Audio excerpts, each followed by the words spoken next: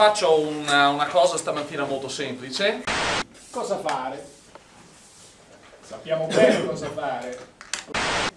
Allora, cominciamo a eliminare C. Che cos'è? Con che probabilità cade in questo intervallo?